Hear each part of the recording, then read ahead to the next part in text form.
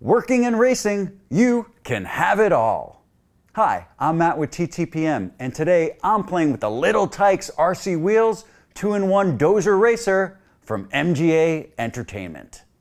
This remote controlled vehicle requires six AA batteries not included. It's recommended for ages 3 and up. It rides well, and the remote is very responsive, but here's the super cool part. It's two vehicles in one.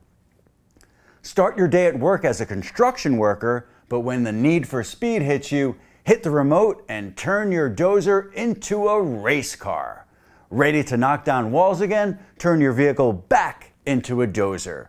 Kids love vehicles, but sometimes it's tough to choose between work and play. Now your worries are over and the fun begins.